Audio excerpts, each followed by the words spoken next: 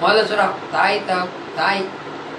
அவனை ரொம்ப சிரமத்தோட தான் உண்டானான் லேசான சுமையை சுமந்தா பிடி ரொம்ப கஷ்டமா சுமந்தான் ரொம்ப கஷ்டப்பட்டு தான் பெத்தா. அது மட்டும் இல்ல சுமந்ததும் பால் கொடுக்கறதெல்லாம் சேர்ந்து எத்தனது?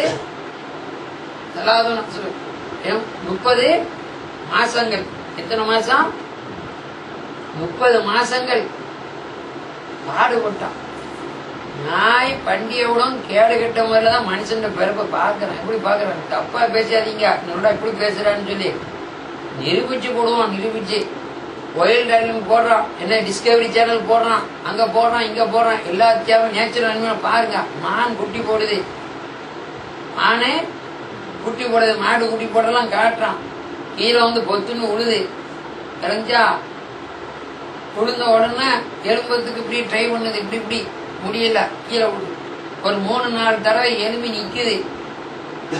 மூணு நாலு தடவை ட்ரை பண்ண தான் எலும்பி நீ நிக்குது. நின்ற உடனே உமாவுடைய தாயுடைய மடியை பார்த்து என்னது மடு ஒரு பார்த்து ஸ்டெப் வச்சு போய் குடிக்குது. சரியா? இதுக்கெல்லாம் கொசி கிசி போய் மேலே போய் உட்காந்தா வாழை வச்சு இப்படி அடிச்சு விரட்டுது. விளங்குதா? மனுஷன் பிறந்தானே. பிறந்தவன எலும்பி நின்றானா? உமாங்க பசிக்குது நெஞ்ச தூக்கி சூப்ப போனா தூக்கி வச்சாலுமே சூப்ப தெரியலையா. வாயில வச்சா?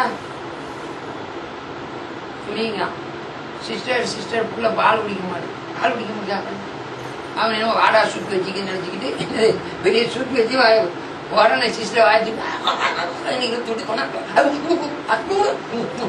அதுக்கு பிறகு அவருக்கு சூப்பவே தெரியும். எனக்குச்சா ஆடு மாடு பிறந்த சீருக்கு தானே ட்ரை பண்ணி எழும்புது. யாரும் தூக்கி மடியில் விடல பல தடவை அதுக்கு போய் எலும்பி நின்று நேர ஸ்டெப் பண்ணி எங்க ரிசுக்கு கிடைக்குமோ அங்க வச்சு சூப்புது. அவரு கொசு கொசு வந்து அப்படி அடிச்சு விரட்டுது. இவன் பால் கொடுத்து போட்டு வச்சுக்கிது கத்துறான். பார்த்தா என்ன கத்துதுன்னு பார்த்தா ஒரு நுழம்பு கிடைச்சிது. இவன் குண்டுக்குள்ள நாலரை கிலோ அஞ்சு கிலோ சும்மாவே பெறல ஏன்னா என்ன உங்களோட வயிற்ற கிழிச்சு ஆபரேஷன் பண்ணி வேற தூக்கி போட்டிக்கு அல்லது அந்த பக்கம் கிழிச்சு இவ்வளவு பொத்த?